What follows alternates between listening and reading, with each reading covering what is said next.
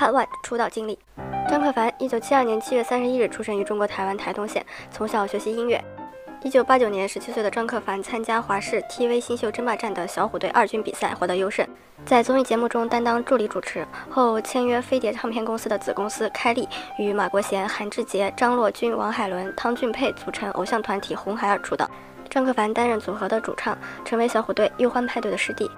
By the way，当时转台王马国贤是被选入小虎队本队的，只是他觉得当偶像没有前途，就没有去。如果他去了，小虎队就没有苏有朋了。一九九零年发布组合的第一张专辑《亮出我的年轻护照》，虽然当时小虎队已经火遍台湾，但是红孩儿还是从中分了杯羹，获得年轻人的喜爱。大小 S 都是红孩儿的粉丝，小 S 还尤其中意当时的《张英永远爱你》《初恋》《青春故事》等专辑。找资料的时候发现红孩儿有一首歌在网易云有九九九加的评论，算是一代人的记忆了。一九九三年，由于团员们到了服兵役的年纪，组合被迫解散。一九九四年，服完兵役的张克凡重新加入开立经纪公司单飞，发表了三张个人专辑。一九九六年提名金曲奖最佳新人奖。一九九八年加入福茂唱片公司，发布第五张个人专辑《寂寞轰炸》。每天这个时候，心都特别寂寞，想孤单单在大海游，不确定方向，没错，又不。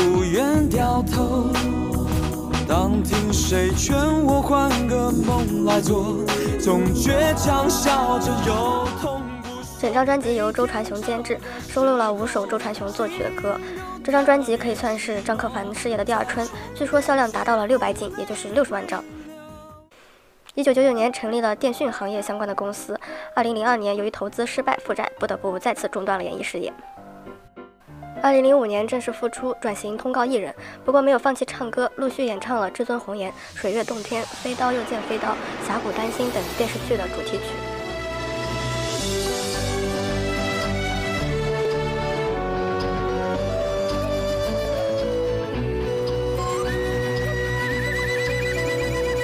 世界上有几个女人敢这样，把脆弱当成了坚强？Part Two 与欢欢的故事，康熙的观众都应该知道，张克凡和欢欢在康熙有一段很感人的旧爱重逢的故事。蔡康永都很认真地刻过这个 CP。先简单介绍一下欢欢，欢欢本名于佳慧，一九七零年八月十一日出生于中国台湾，家境优渥，爷爷是国大代表，外婆据说是左宗棠的后代，从小学习音乐和骑马。欢欢的姨父当时是在华视担任张小燕节目的制作人，欢欢由此进入演艺圈，和悠悠、蔡雨伦组成少女组合忧欢派对，算是小虎队的师姐。过年常备歌单里的新年快乐就是忧欢派对和小虎队一起（括号悠悠和吴奇隆谈过恋爱），忧欢派对就此解散，欢欢开始出演电视剧。二十一岁和导演张孝正结婚，生下两个孩子，一男一女。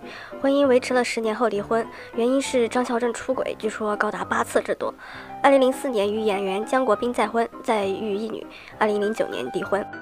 张克凡和欢欢是同公司的前后辈，红孩儿时期相识。欢欢比张克凡大三岁，两个人都是情窦初开，单纯的喜欢对方。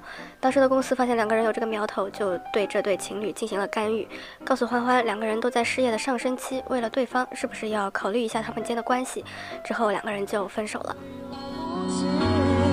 那苗姐就语重心长的跟我讲说，其实你们都还年轻，当然我不反对你们谈恋爱，可是你有没有想过？你们都还有美好的未来。可凡他以后可能会单飞，他可能会变成，也许会变现在像现在周杰伦等等之类的哦。那你要不要考虑一下你们之间的关系？二零零九年十月五日播出的《康熙》，张克凡讲到了和欢欢的姐弟恋。之后，康熙请来了欢欢，两个人一起谈这段感情，也就是张克凡挨骂的开始。节目中，两个人聊了以前的故事，美好而又无疾而终的初恋。随后，张克凡演唱了他为欢欢写的歌《两个世界》，场面一度非常感人。蔡康永也在撮合两人，看有没有机会再续前缘。复合是不可能复合的，张克凡也有了三宗罪。第一，二零一零年马国贤和张克凡一起上康熙，马国贤说《两个世界》不是欢欢的专属歌曲，有听过张克凡唱给别人。张克凡解释道，这首歌确实是写给欢欢的，但是有唱给别人听过。第二，张克凡和欢欢一起上节目时有女朋友，所以一直在节目中表现得很扭捏。第三，从二零零九年第一次讲和欢欢的故事后，张克凡就因为这件事上了很多通告，大家认为他在消费欢欢，消费这段感情。要说明的是，有些通告是和欢欢一起上的。二零一三年，欢欢最后一次上康熙，还是和二零一四年六月，欢欢在家烧炭自杀，享年四十三岁。欢欢生前患有抑郁症，两年前父亲的去世对他打击也很大。